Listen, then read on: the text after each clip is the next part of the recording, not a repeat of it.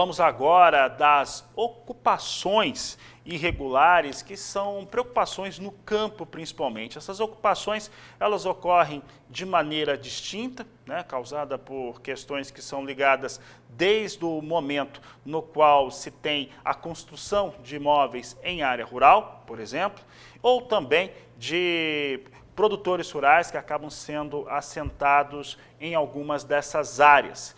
E há um, um, um, cenário, quando a gente fala de regularização fundiária, há um projeto de lei que está prevendo fazer essa regularização, fazendo com que esses imóveis não passem pelo crivo do INCRA.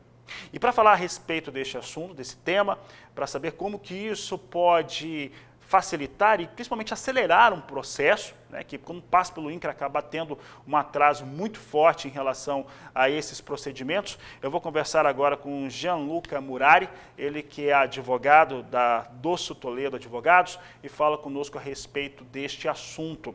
É, Gianluca, obrigado pela sua participação aqui no canal do Boi, no Agricultura BR.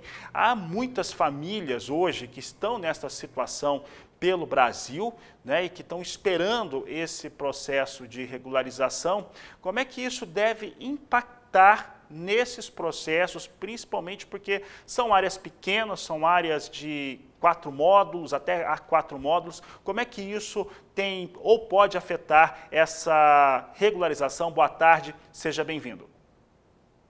Boa tarde, Fabiano. Satisfação muito grande estar aqui falando com vocês. Boa tarde para todo mundo que está nos assistindo aqui. Exatamente como você falou, a grande ideia por trás desse projeto de lei é desburocratizar e acelerar esses procedimentos. A gente tem cerca de 500 mil famílias aguardando uma, é, o crivo do INCRA, ou seja, aquela vistoria prévia mesmo. E a grande ideia por trás do projeto, uma das maiores alterações, é dispensar a vistoria prévia para os imóveis de até seis módulos fiscais. Né?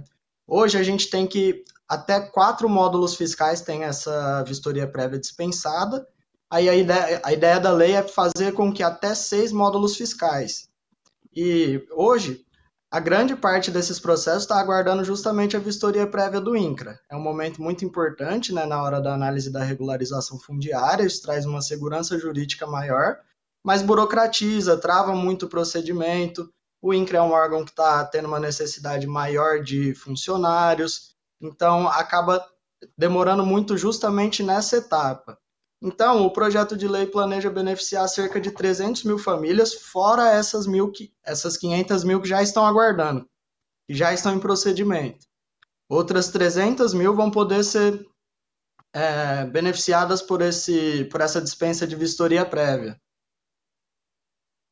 É, Gianluca, em relação a essa dispensa das vistorias prévias, isso tem uma ideia, porque quando eu falei aqui, eu citei o processo burocrático, que existe mesmo, de fato, quem demanda os serviços do INCRA sabe disso muito bem.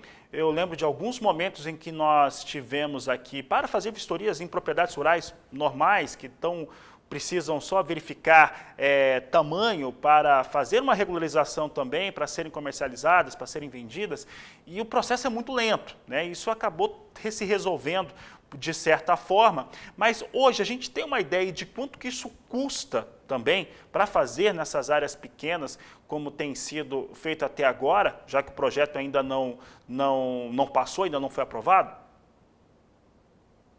Fabiano, o custo ele é muito grande, porque hoje a gente vai, ter, vai precisar da figura do topógrafo, da figura do engenheiro, para fazer toda essa medição de forma completa.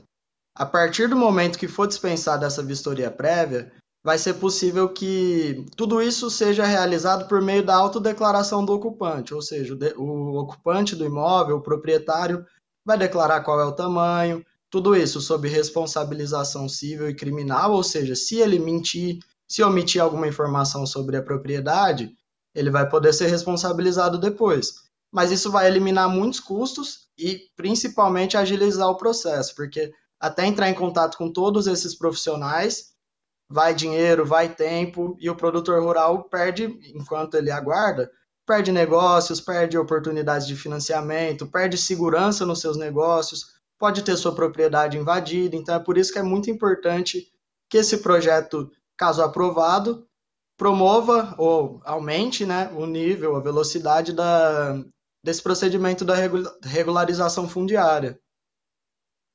É, Para encerrar aqui a nossa entrevista, Giancarlo, eu lembro de ter lido nas informações que vieram aí do seu escritório que, primeiro que as gerações né, de, de pessoas que têm estão nessa, nessa situação que precisam regularizar. Mas há uma referência importante, é que essas construções, no caso, elas precisam existir até o dia da, de que foi editada a lei do, do marco temporal que nós temos relacionado à questão ambiental aqui no Brasil, né, que é um projeto do Código Florestal, 27 de julho de 2008. Essa referência é extremamente importante para que uh, esse proprietário possa regularizar. Isso, essa é uma data muito importante, Fabiano, por quê?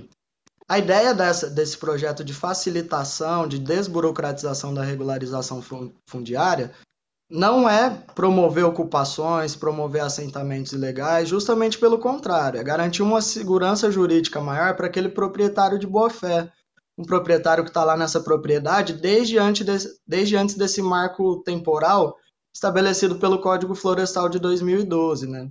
Então, essa data é o dia 22 de julho de 2008 a posse para que o, o, proprietário possa fazer a regularização fundiária com a dispensa de vistoria prévia, da forma que falamos até agora, é necessário que ele comprove, ou seja, que ele declare que a, que a ocupação dele é anterior a esse marco temporal, que ele está naquela propriedade desde antes de 22 de julho de 2008. Proprietários que entraram na posse depois de 22 de julho de 2008 esses sim vão ter que passar por todo aquele processo de vistoria prévia, toda aquela questão de análise de infrações ambientais, então não basta a autodeclaração do ocupante. Aí, infelizmente, vai ser necessária a intervenção do INCRA e todo aquele procedimento burocrático e moroso.